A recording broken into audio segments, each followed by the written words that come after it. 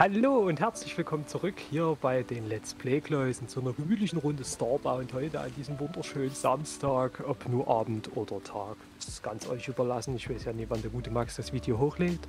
Hallo Max im Übrigen, der ist heute mit dabei. Löchen, wie immer.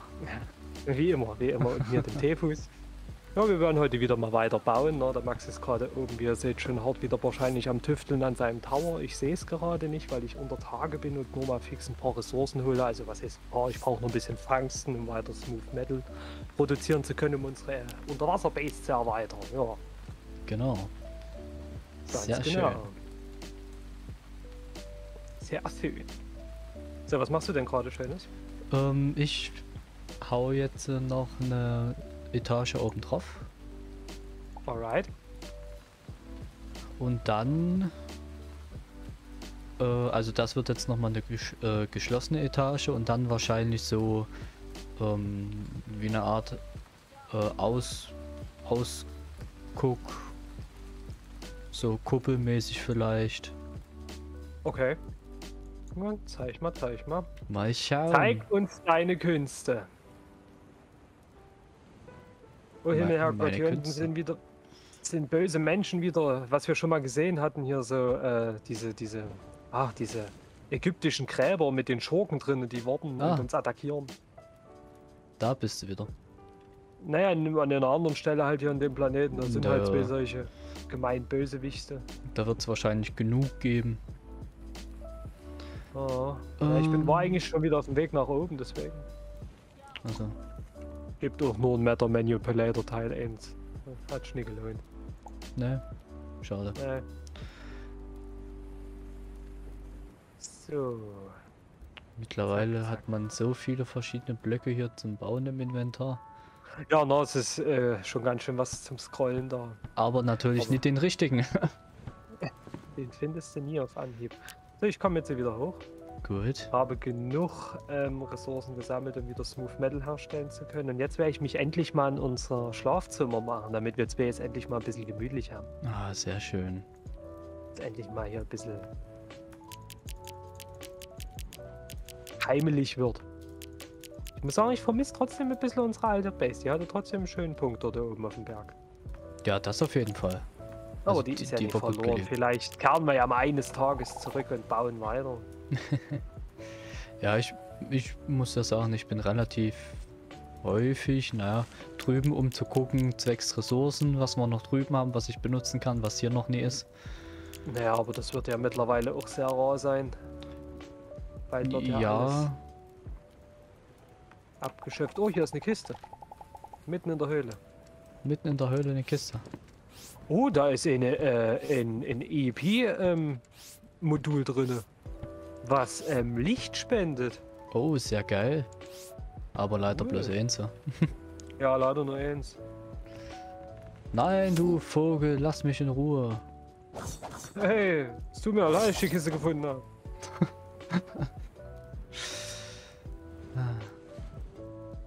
Nee, dich meinte ich ausnahmsweise mal nicht. Oder dumm ist. Ah, nee, Quatsch, ist nicht noch eine Kiste, das ist nur eine. Ja, wo ist denn der blöde Block? Der blöde Block. Welchen blöden Block suchen wir denn gerade? Jetzt habe ich sogar einen Namen vergessen. Hier ist er. Nee, das ist Timber. Tinder? Tinder. Der wird doch nie alt. Nee, äh, äh, naja. Der reift. ja, der reift. So kann man es ungefähr sagen. Käse. Oder Wein. Naps.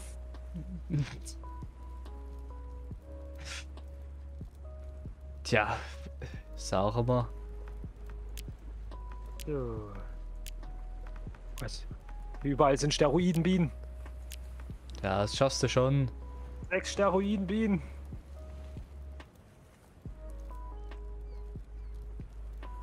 Ja, bin ich blind Bin ich oder was ist los? Hast du den immer noch nicht gefunden? Nee. Harte Kunde. Oder ha- hat sie mir jetzt eigentlich schon gesagt, wie er hieß? Ich hab's schon wieder vergessen. Ja, ich weiß halt auch nie, wie er heißt. Ah, so, schön. Ja, ich habe einen Kopf wie ein Sieb, das weißt du doch. Oh Gott. Oh Himmel, Herrgott. Oh, hier bin ich aber in einer sehr ungünstigen Position. Eine ungünstige Position? Ja, also, oh, gerade um mein Leben gefeitet. Ich habe doch gerade eben 100 Stück von denen gemacht. Warte, du, du hast jetzt 100 Stück davon gemacht und weißt nie, wie es heißt. Hä, ich hab's vergessen. Achso. Mann.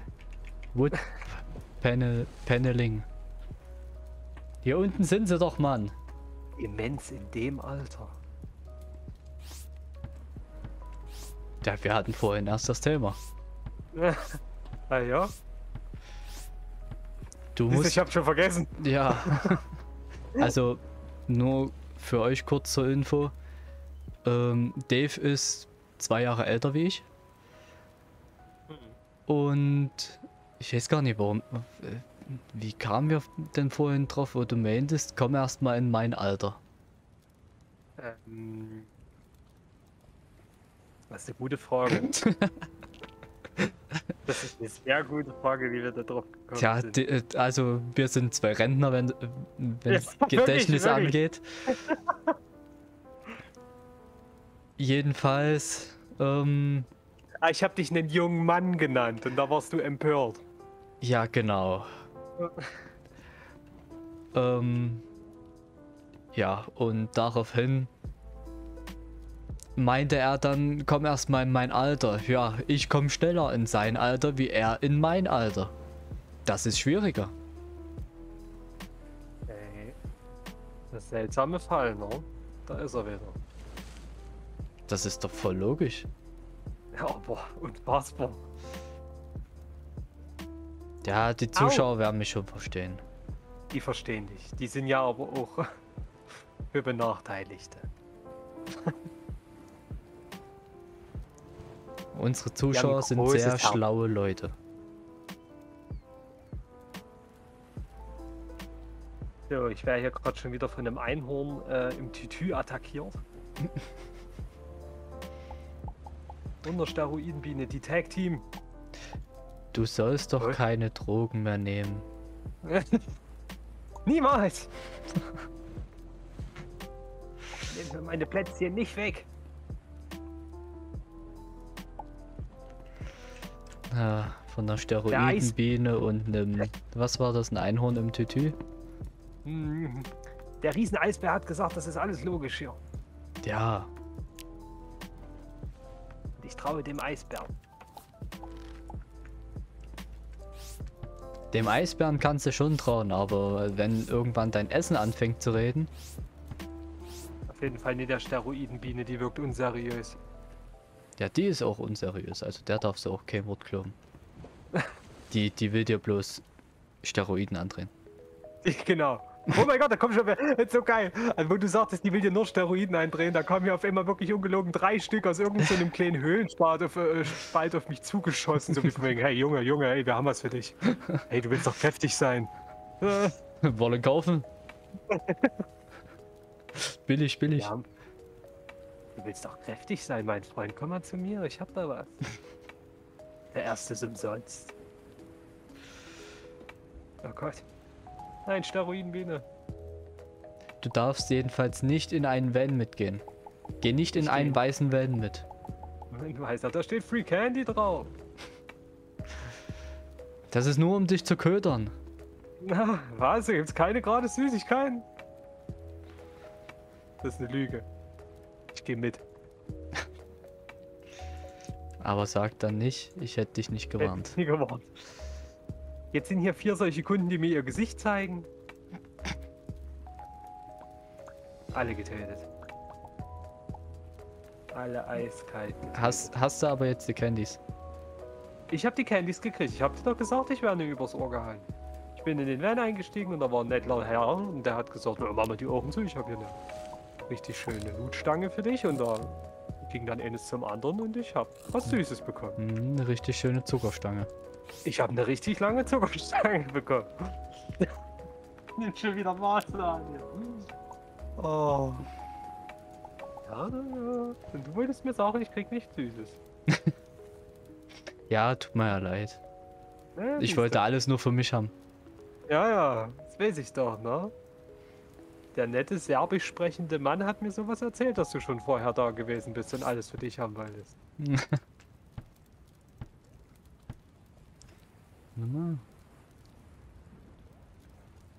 Ach, Mensch.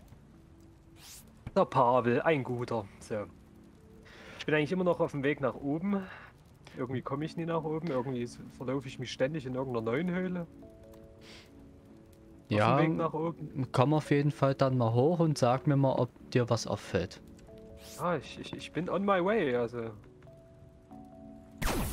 Life is a highway und so, weißt du? Life is Hardcore. Highway. Hyper, hyper. Nee, nee, Hyper Highway. Hyper, Hyper.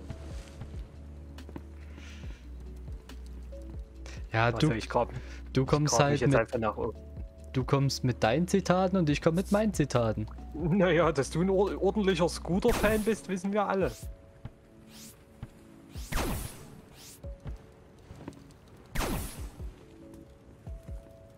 Gott, ich bin schon in der Sandschicht, Max. Ich, ich schaff das.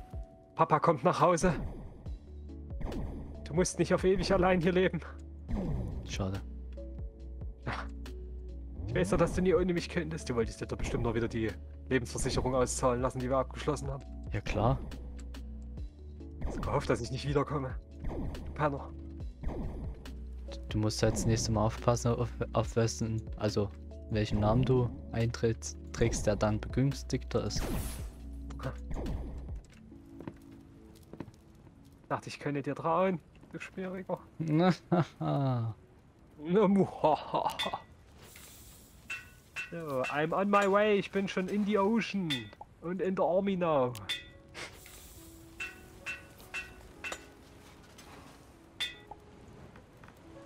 Bin auf meinem Raumschiff. Ich werde mich direkt zu dir teleportieren, damit ich oh deine nein! meisterliche Baukunst direkt begutachten kann. Ja, kann ich gar nicht, weil wir in meiner meisterlichen Baukunst stehen. Sehr schön hast du geäußert. Ja, du.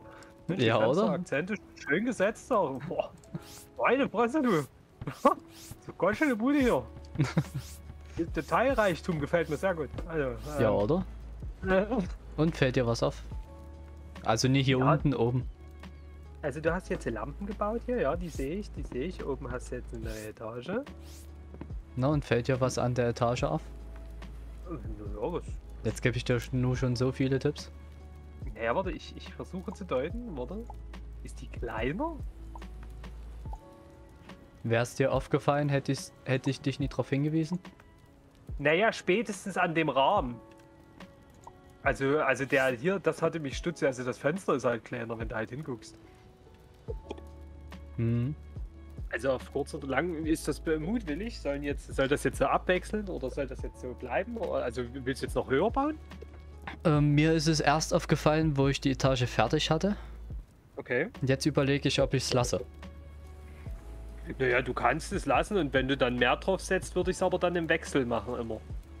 Na, jetzt Dann- kommt ja sowieso bloß noch die, die oberste Etage, die Kuppel oder so, die Aussichtsplattform hin. Mhm. Naja, mal gucken, wie weit wir sowieso dann ja aber noch erweitern und so. Und du musst hier oben mal ein Dings hin, also hier bei deinem obersten musst du ja hin. Obwohl, nie, wenn du hier eine Kuppel drauf machst, also wegen hier Blatt hier, ah, weißt schon, Falltüren, würde ich Ja, ja, ja, ja. Damit es nicht mehr reinregnet Nö. und keine Viecher reinkommen. Nee, die Okay. wollen wir hier nicht drin haben. Keine Viechers. Nee. So, ich gehe mich jetzt endlich wieder meinem Bauvorhaben widmen, nachdem ich jetzt ein bisschen. Ach nee, erstmal gehe ich zum Ofen, Geh mal Und, zum äh, Ofen. schmelze ein bisschen. Vor Leidenschaft zu dir.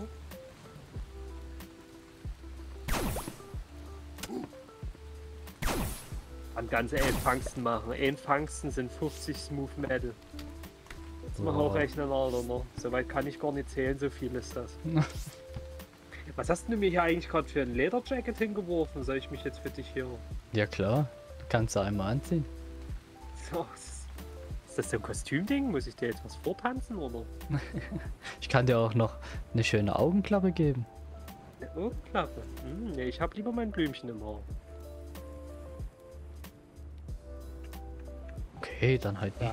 Da hab ich doch lieber mein Blümchen im Auge. Ähm, lass mal kurz überlegen. Überleg mal.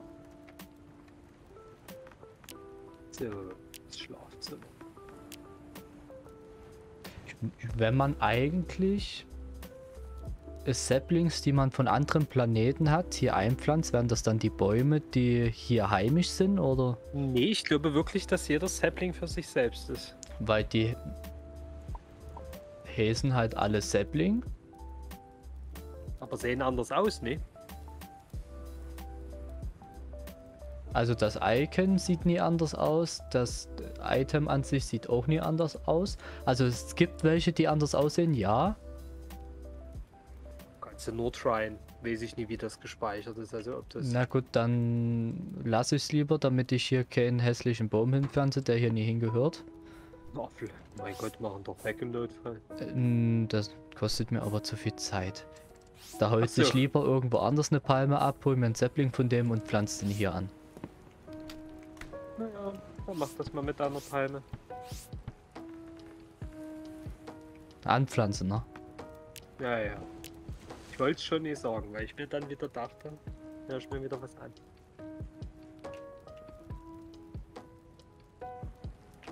Ah, Da muss mache ich jetzt klein noch eine Etage drauf und dann die Aussicht. Das weiß ich nicht.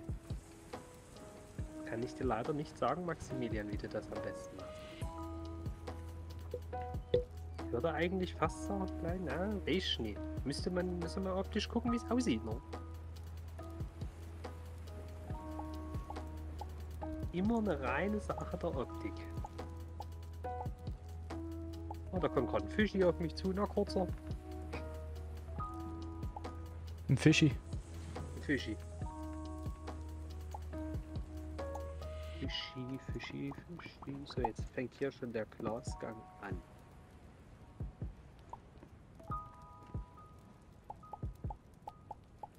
Am besten machst du das zweitig. Zwei dick. Zweitig. Hast du mich gerade dick genannt? Du bist dick, ja. Wer ist hier dick?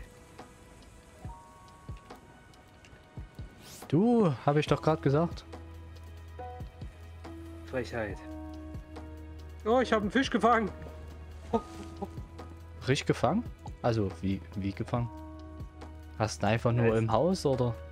Naja, er ist reingeschwommen. Kannst ja mal gucken. komm. Kannst du, kannst Fisch, Fisch und Gefangenschaft begutachten. Ja, nee, ich bin nie für sowas. Du bist nicht. Ja, Anzeige ist raus, ja. Tierquälerei und so. Tick. Nee, warte, ich komm runter. Der sieht so schön aus. Wie er hier rumfischelt. So, eins, zwei, drei, vier, fünf.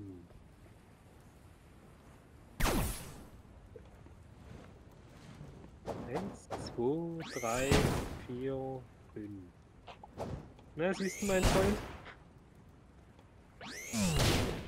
Das ist Eduardo. Was machst du dort? Jeden? Ist der Fisch getötet, du krankes Schwein. Ich bin gegen Käfighaltung. Da bringst du den lieber um, du krankes Schwein. Ich habe sein Leiden beendet. Jetzt muss mal dein Leiden beenden. Hey, jetzt wird's persönlich. Du hast Eduardo getötet, krankes Schwein. Er hat dir doch eh nichts bedeutet. Erst hast du Fröschen die Türen geklaut aus ihren Dörfern. Und jetzt tötest du Eduardo. Bist krank, Junge. Du weißt doch gar nicht, was ich schon alles gesehen habe. Das, das entschuldigst du doch aber nicht. Kranker Sack. Ja, doch, klar. So, oh, dieser Glasgang jetzt. Ich werde das so alle fünf Schritte machen, denke ich. Da werde ich immer mal so kleine Schleusen einbauen, damit das schön aussieht. Eins, zwei, drei, vier, fünf. Ja, da wieder. Dort und wieder. Tja. Ja, nee, das sieht scheiße aus. Was hast du denn gerade gemacht? Was hast du denn gerade gemacht? Ich wollte Muster, aber nee. Nutze die Yellow? Nee. Ah, das ist natürlich schade.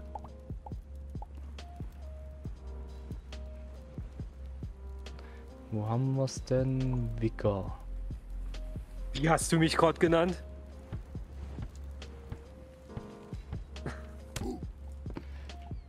Nimmt dann immer gleich alles persönlich. Weil du mich wieder reduzierst.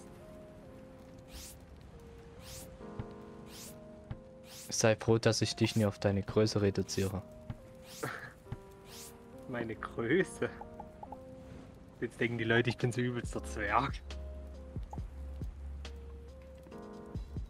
Ja, genau, das denken die.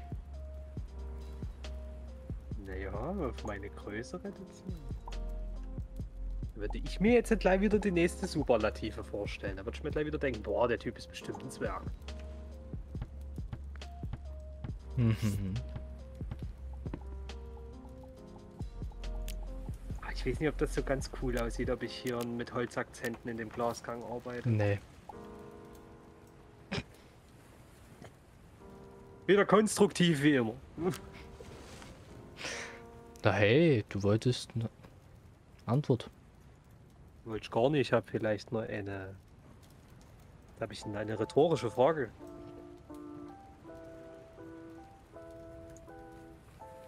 Hast du das? Maybe. Maybe. Eins, zwei, drei. Die nächste Folge müssen wir mal wieder richtig Rampage machen, ey. Da muss man wieder richtig schön.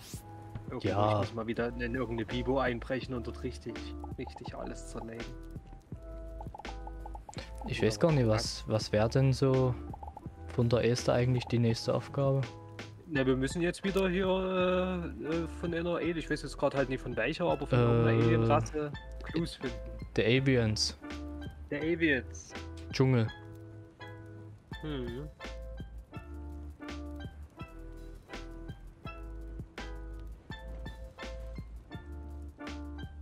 Avians. Und da, wieder äh, findet man um radioaktive Sterne. Das trifft sich ja sowieso. Wir müssen ja sowieso zu äh, äh, Tier, äh, Stufe Tierplaneten, um hier ah, das Metall zu finden, mit dem wir endlich den Atomic Furnace kriegen. Äh, war das Durastil? Das kann sein. Du weißt auch alt und vergesslich, wir hatten es doch vor uns. Ja, eben. Aber würde ich sagen, bevor wir ähm, auf den Planeten gehen, mache ich dir deine Rüstung noch komplett fertig. Ja, das wäre äh, eine Maßnahme, das stimmt. Nicht, dass wir dort auch so zu strugglen haben, wie wo wir hier das erste Mal auf dem Planeten hin sind. Naja, du, äh, eigentlich war das ja damals, ich kann mich noch erinnern, ähm, am Anfang, also so das Tutorial von Starbound früher, äh, war eigentlich so gewesen, dass, dass du in, dass du in, in, also da bist du auch so ein paar Schritten gefolgt, da gab es diese Raumbase und die Elster und alles, sowas gab es noch nicht und auch nie diese Vorgeschichte hier mit den, äh, mit, dass du hier der, jetzt schon hier dieser, dieser Protektor bist, dieser Hm. polizistenartige äh, Klaus. Diese ganze Geschichte gab es halt nicht. Du bist halt einfach irgendwo, ich du auf deinem Raumschiff aufgewacht und so und dein, das war halt kaputt und da hast du halt so ein paar Informationen, so ein bisschen Hintergrund von deinem hier Schiffsterminal gekriegt. Und dann bist du schon auf deinen Planeten gekommen und da hat das Schiffterminal dich sozusagen so tutorialmäßig so ein Stück weit an der Hand genommen. Okay. Und da kam dann irgendwann ähm, ähm, die Mission, dass du ein Beacon bauen solltest, in, in, also hier in, in so wie eine Radarschüssel, die halt ein Signal aussendet. Aber da stand schon dazu, dass du vorsichtig sein sollst, was, äh, was du damit rufst. Und Okay. wenn du das Ding nämlich hingestellt hast, haben dich erstmal Mini-Pinguine angegriffen. also also da, da kam eine, wirklich eine, eine, eine, eine Mini-Pinguin-Armee an der Stelle, wo du diese Radarschüssel äh, hingesetzt hast. Die kamen wirklich von oben wie, wie Spock-mäßig runtergespawnt. Die kommen auch mit einem riesig fetten, so, so halt wie du dir ein UFO vorstellst, so, so kreisrund. Mhm. Äh, ein so ein riesen fettes UFO, was übelst viel Leben hatte und übelst viel Schaden gezogen hat. Und auch diese Pinguine hatten Knarren. Damals war das ein Starbound gewesen, da hast du am Anfang noch nicht an jeder Ecke eine Knoche gefunden und so. Da war das wirklich, da war das was, also, wir sind so halt Endgame-mäßiges. Und die haben dich halt erstmal mit übelst Panzerfaust angegriffen. So diese kleinen Pinguine haben auch Helme getragen, so Militärhelme in Camouflage. Geil. Mitunter gab es welche, die haben kleine Mini-Panzer gefahren und so. da kamen dann halt wirklich so, so acht, neun oder zehn solche kleinen Pinguine und dieses fette Raumschiff, wo ein Pinguin drin saß. Und die haben dich dann erstmal ordentlich auseinandergenommen. Das ist schon geil. Ich weiß gar nicht, weswegen ich das da ja gerade erzählt Ach ja, genau, deswegen habe ich nämlich die ganze Zeit jetzt die Sorge, dass wenn wir jetzt auf so einen höherstufigen Planet gehen, weil Dass bis jetzt hat man ja Pinguine noch angreifen? Ne, nicht nur Pinguine, aber das generell, ich erinnere mich halt, dass die sehr schwer wurden. Weißt du, du hast denen kaum Schaden gezogen und die haben dir halt übelst gegeben. Und ich habe halt die Sorge, dass diese Schwierigkeit jetzt so langsam mal erreicht werden müsste, weil wir sind ja noch auf keinen Widerstand ge- gestoßen, wirklich. Also wir hatten ja mit noch nichts wirklich zu strugglen hier. Nee, das stimmt. Also, dass wir so langsam mal eigentlich an den Punkt kommen müssten, wo es auch mal ein bisschen knifflig wird. Das stimmt, ja. Das ist ein bisschen mau. Ich rede jetzt hier nicht von China. Was? Mao Zedong? Nee, tut mir leid. Nee, das war mal der chinesische Diktator gewesen damals. Achso. Er hat China kommunistisch gedreht. Ja, mit sowas brauchst du bei mir gar nicht erst kommen. naja, aber siehst du, das ist so schön, dann kann immer D- Dave's, Dave's History Corner, da tue ich dir immer mal so kleine Einschnitte geben. Und unseren Fans. Ja, da können sie mich berichtigen und, und mich in den äh, Kommentaren blamen dafür, was ich hier für Halbwissen vermittle. Ja, genau. So ist doch gut. Ne, da bin ich auch gern dabei. ja, Assis, weißt du, anstelle euch zu freuen, weißt du. Nö.